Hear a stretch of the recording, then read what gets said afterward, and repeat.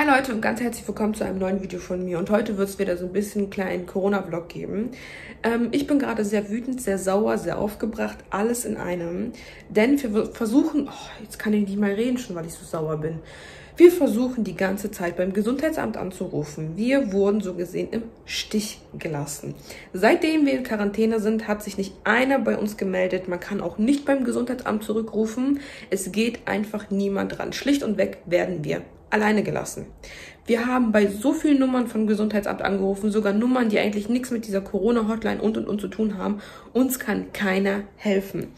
So, wir haben letzte Woche schon einen Test gemacht, da habe ich einen Schnelltest gemacht, zu Hause, mehrere, die sind alle negativ ausgefallen. Als wir dann ähm, zu unserer Corona-Station gefahren sind, also zu unserer Zentrale da, wo man äh, die Tests machen kann, also im Krankenhaus bei uns, ähm, haben wir den Wisch mitgenommen, den wir da bekommen haben, wo sich alles übrigens widersprochen hat in diesem Dokument. Ja, auf jeden Fall sind wir dann zu dieser Teststelle gefahren und dann haben die Mädels, die dort, die dort waren, uns gesagt, hey, nee, ihr habt Symptome, ihr müsst bitte wieder ein PCR machen. Gut, dann haben wir den gemacht. Ich bin eigentlich zu 100% davon ausgegangen, dass dieser negativ ausfallen wird, weil alle meine Schnelltests sind nämlich auch negativ ausgefallen. Uhu, dann kam das Ergebnis und was war dann? Nach zwei Tagen war der positiv. Also wir haben gemacht und zwei Tage später ist er, äh, haben wir dann unseren Test per ähm, Corona-Warn-App bekommen und dieser war positiv. Wir waren alle geschockt, Pascal war geschockt, wir waren beide noch Corona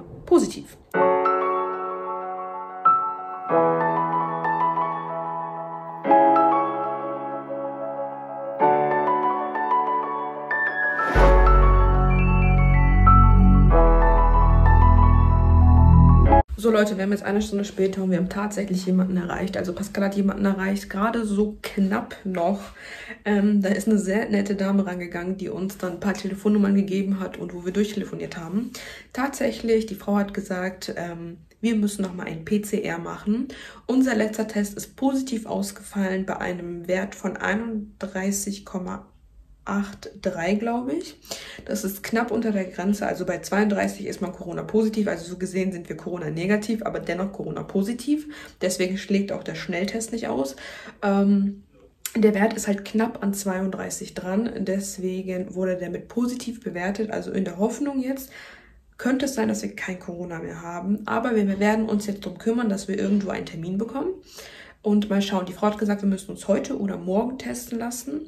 Ähm, wir werden jetzt mal bei ein paar Teststellen, boah, ich kann nicht reden, ey. Boah. Wir werden jetzt bei ein paar Teststellen anrufen und gucken, was wir dort erreichen, weil bei den meisten Teststellen braucht man einen Überweisungsschein vom Hausarzt. Da komme ich jetzt nicht ran, weil ich eigentlich so gesehen die Wohnung nicht verlassen darf. Und wir haben ja so ein Dokument bekommen und dieses Dokument soll so gesehen auch als Überweisungsschein zählen. Also mit diesem Dokument kannst du zu den Teststellen gehen und dich dort testen lassen. Ich bin gespannt, wie das Ganze jetzt weitergehen wird. Und mal schauen, Leute, auf jeden Fall. Ich halte euch auf dem Laufenden. So, ich bin jetzt gerade wieder bei meinem Bild mit bei. Und mir fehlt nur noch oben das Stück und dann bin ich fertig. Also wie gesagt, die anderen sind schon fertig. Ich habe für dieses Bild ziemlich, ziemlich lange gebraucht. Also normalerweise habe ich immer zwei Tage gebraucht für ein Bild. An dem hänge ich jetzt wirklich schon fünf, sechs Tage. Ich weiß nicht warum, aber ich hatte beim dritten Bild auch ehrlich gesagt gar keine Lust mehr. Und ich, ja, habe jetzt diese drei Bilder gemacht und das ist dann jetzt für mich auch genügend. Mehr werde ich nicht machen. Ähm, die kommen dann, wie gesagt, da hinten dann hin. Da werde ich noch drei Rahmen bei Amazon bestellen. Und dann hat sich das. Ich werde nie wieder Diamond Painting machen. Also ähm, es ist zwar wirklich irgendwo ein Suchtfaktor am Anfang, aber zum Ende hin will man irgendwann nur noch diese Bilder einfach fertig machen. Und vor allem, ich muss mich hier mal hinhocken, hinknien, keine Ahnung. Und dann mit meinem Bein gegen die Tischkante und keine Ahnung. Also das ist mehr anstrengender als weiß ich nicht was. Deswegen bleibt das definitiv bei den drei Bildern. Und mehr werde ich nicht machen. Aber war auf jeden Fall eine Erfahrung wert. So, wir haben jetzt für morgen einen Termin bekommen für einen Test. Ich hoffe, dass dieser negativ ausfallen wird. Ich bin schon ganz gespannt. So Leute, ich mache jetzt gerade das Mittagessen. Es wird bei uns ähm, Nudelauflauf geben. Mir ist gerade der Name nicht eingefallen. Ich bin gerade schon fleißig dabei, die Küche unordentlich zu machen. Die Nudeln kochen gerade. Ja, und dann muss ich jetzt gleich nochmal Kochschinken und Käse schneiden und das dann alles mit der Soße zusammen in eine Auflaufform packen. Ich habe jetzt gerade keine Ahnung, was ich für eine Soße machen soll. Deswegen gibt es heute einfach eine Maggi-Soße. Ich esse heute eh was anderes. Und da habe ich jetzt einfach so eine Nudelschinkensoße genommen. Das wird schon passen. Ähm, ja, ich möchte aber jetzt gerne noch mal kurz was ansprechen und zwar zum Thema meiner Verlosung. Und zwar, wie einige von euch wissen, ich habe eine Verlosung am Laufen gehabt und ich möchte jetzt gerne hier auflösen, wer gewonnen hat. Und zwar hat die liebe Lisa gewonnen.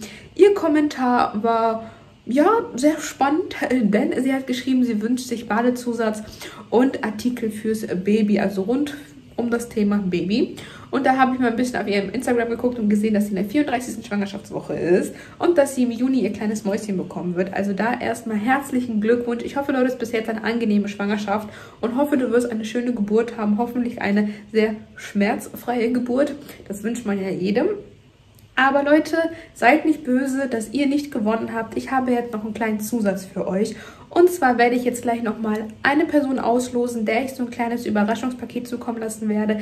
Vielleicht auch ein Paket aus, äh, Paket, ja. Vielleicht auch ein paar Artikel aus der Wunschliste. Mal schauen, mal schauen. Ach komm Leute, ich werde eh irgendwas aus der Wunschliste mit reinpacken. Sind wir jetzt mal ehrlich, ich bin Alina. Wie könnte ich nur anders? Es werden jetzt nicht 25 Euro sein, Leute. Ich kann nicht jedem so einen Wunsch erfüllen, weil ansonsten wäre ich plieplableit und könnte den ganzen Monat nur noch Nudeln essen.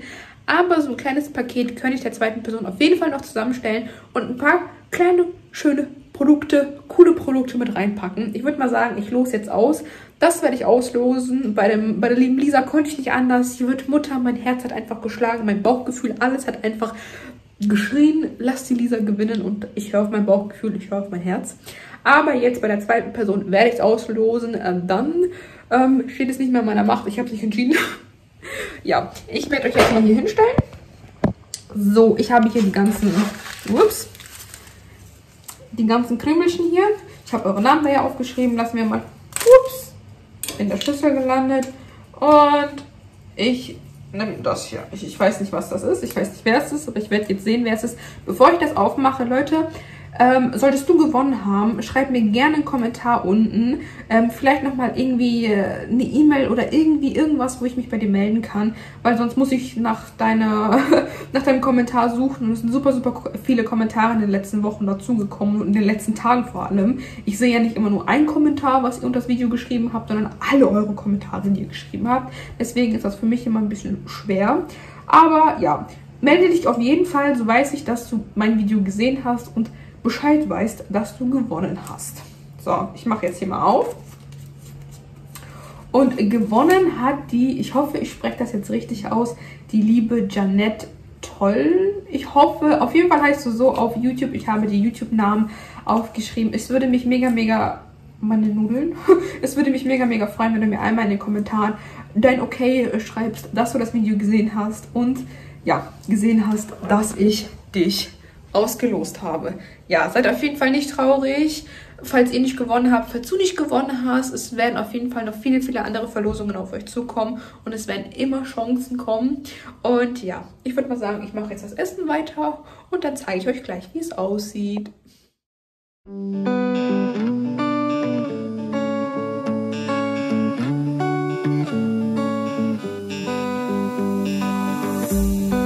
They keep on telling lies so sieht das Ganze bei mir aus. Hier sind jetzt die Nudeln. Da habe ich diese Fuseli-Nudeln oder wie auch immer die heißen. Hier habe ich dann die Soße. Ja, Leute, ich habe hier eine Fertigsoße genommen, aber ich habe die nochmal selber gewürzt und nochmal meine Sachen da reingemacht. Ein paar mehr Kräuter und sowas, damit das halt ein bisschen besser schmeckt. Leute, was ich euch zeigen wollte, ich schmeiße mal die ganzen Sachen in die Spülmaschine und dann habe ich hier solche weißen Flecken überall. Das ist nicht schwarz mehr, das ist weiß. Ich weiß aber auch nicht, wie ich das abkriege oder wovon das kommt. Bisschen komisch. Also dann habe ich hier meine Auflaufform, dann habe ich hier ein bisschen Käse, weil ich habe keinen Reibekäse mehr, deswegen muss jetzt so normaler Gouda mithalten in Scheiben. Und dann habe ich hier mein Kosching und mein Käse, den ich später unterrühren werde. Und da hinten bin ich für euch am Mampfen für ein Video, ähm, ja, zum Testen. Dazu soll es nämlich noch ein Video geben, so ein äh, Rossmann vs. DM mit Food. ja, jetzt habe ich schon ein bisschen was verraten, aber egal, Leute. Auf jeden Fall bin ich gerade für euch am Snacken. Das Essen ist jetzt fertig. Das macht sogar noch Geräusche. Könnt ihr das hören? Ja, auf jeden Fall, das essen wir jetzt. Das packe ich auf den Teller und dann lassen wir uns das schmecken. Das schmeckt übel, übel gut. Ich habe schon da hinten so ein kleines Stückchen probiert. Und wir lassen uns das jetzt auf jeden Fall schmecken. So Leute, ich bin jetzt in der Küche.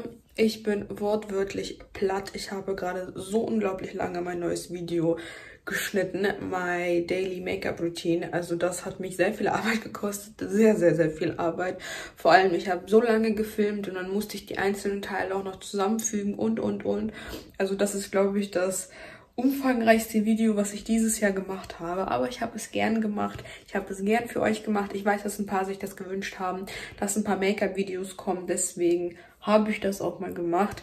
Ich bin jetzt in der Küche muss mich jetzt ein bisschen abregen, weil ich warte die ganze Zeit auf die Monetarisierung von YouTube. Ich habe mir so, so unglaublich viele Videos angeguckt und dann haben alle berichtet, oh, nach zwei Tagen Monetarisierung, oh, was spreche ich denn?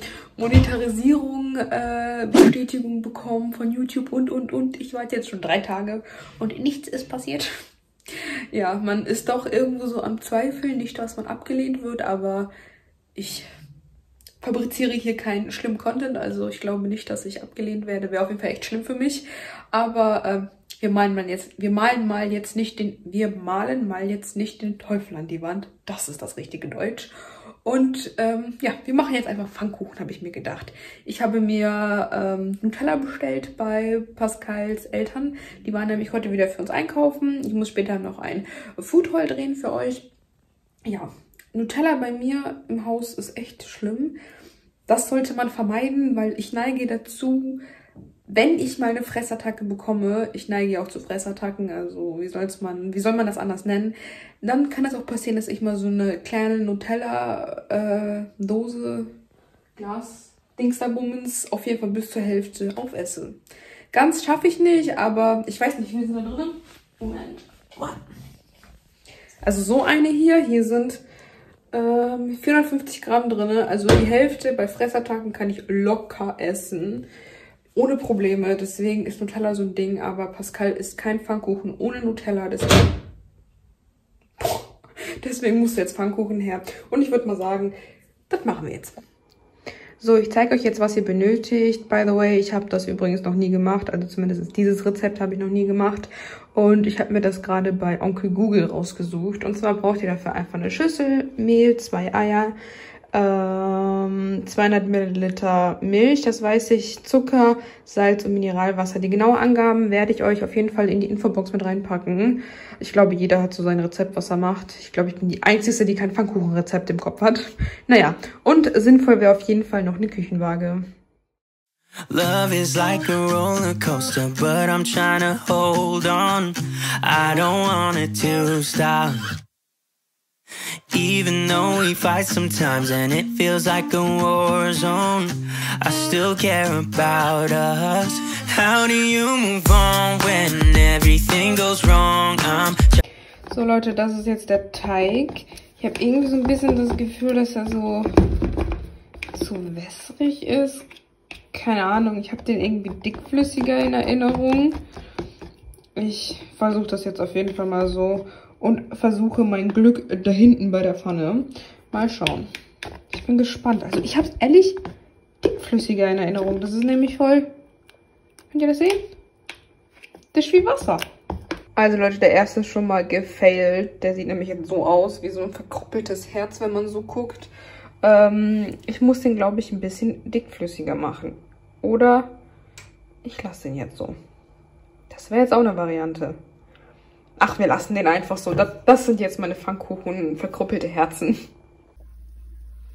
Naja, nicht ganz rund, aber Leute, besser als das verkruppelte Herz. Ey, was soll denn das denn? Da war gerade eben rund. Ach Leute, egal. Ich zeige euch das gleich, wenn alles fertig ist. So Leute, ich bin fertig. Das ist jetzt Pascal seine Riesenkalorienbombe, die ich ihm gleich geben werde. Ich wollte das so ein bisschen stapeln. Hier ist gerade meiner. Ich habe meinen Brot gemacht. So, und wenn der gleich fertig ist, dann essen wir. Und das lassen wir uns jetzt gemütlich schmecken. Ich hoffe, er kriegt einen Zuckerschock. So Leute, bevor ich mich jetzt bed ready mache, denn wir haben schon spät und ich muss Zähne putzen, mein Gesicht waschen und ins Bettchen hüpfen. Aber bevor ich das... Was habe ich denn hier? Bevor ich das Video beende, möchte ich euch noch kurz was erzählen. Und zwar wurde ich gerade auf Instagram angeschrieben. Ich finde es immer super, super toll, wenn ihr mir auf Instagram schreibt. Ich schreibe auch immer schnellstmöglich ähm, zurück. Mit ein paar von euch schreibe ich ja schon auf Instagram. Und gerade eben hat mich dann jemand angeschrieben. Ich sehe das nicht immer sofort, aber ich gucke mehrmals am Tag, ob mir jemand geschrieben hat. Ähm, dann steht da halt oben Anfragen. Und mir hat dann jemand geschrieben und schreibt dann so, ähm, hey, ich kenne dich. Erstmal so, hey, dann schreibe ich nah und dann schreibt er wieder nah und ich so, hä? Fragezeichen, ja, ich kenne dich. Ich dachte mir dann so, ja, woher kennst du mich? Durch Instagram, durch YouTube, keine Ahnung, woher kennst du mich? Und dann schreibt er einfach, ja, ich kenne dich aus München Gladbach, du hast da ja gearbeitet im Baumarkt. Ich wäre auf alles gekommen, aber nicht, dass mich irgendjemand anschreibt, äh, den ich nicht kenne aber er kennt mich wohl von meiner ehemaligen Arbeit. Also gerade eben stand ich ein bisschen auf dem Schlauch und dann habe ich dem erstmal so gesagt, ja, äh, okay, keine Ahnung, hast du vielleicht mal ein Bild für mich? Und äh, tatsächlich kam der mir jetzt bekannt vor, aber ich kann mit dem überhaupt nichts anfangen. So, keine Ahnung, woher kennt er mich? Ich habe noch nie mit dem ein Wort gewechselt. Äh, wie hat er mich jetzt auf Instagram gefunden? Ich bin gerade so richtig auf dem Schlauch, wortwörtlich. Keine Ahnung, wie das enden wird. Und ähm, ja, der, hat mich jetzt gerade einfach stumpf gefragt, kriegt er eine WhatsApp-Nummer? Also er hat seine Nummer geschickt und ich so, ja, äh, keine Ahnung. Hier meine Nummer. Ich habe den jetzt einfach meine Nummer gegeben. Vielleicht ist hier irgendwas, keine Ahnung. Vielleicht will er irgendwas Besonderes. I don't know. Ähm, ja, mal schauen. Aber ich gehe jetzt auf jeden Fall mich fertig machen. Wie das ausgegangen ist, werdet ihr im nächsten Vlog erfahren. Einmal Zähne putzen, Haare zur Seite machen und dann ins Bett. Ich würde auch an dieser Stelle gerne das Video beenden. Ich hoffe, euch hat dieser kleine komische Vlog gefallen. Ich würde mich mega, mega über ein Däumchen nach oben, über einen Kommentar und über ein kostenloses Abo freuen. Vergesst nicht, das Glöckchen zu aktivieren. Und ja, ich würde mich mega freuen. Ihr werdet dann benachrichtigt, wenn ich ein Video hochgeladen habe. Und an die Gewinner, vergesst nicht, mir unten in den Kommentaren zu schreiben. Die liebe Lisa hat mir ja schon geschrieben und beziehungsweise geantwortet und ich glaube, das war die Janette. Janette, schreib hier unbedingt mal unten in die Kommentare rein und melde dich, damit ich weiß, dass du deinen Gewinn annimmst. Aber jetzt, bis zum nächsten Mal. Tschüss, ihr Lieben. We've been driving around, singing songs way too loud because we wanna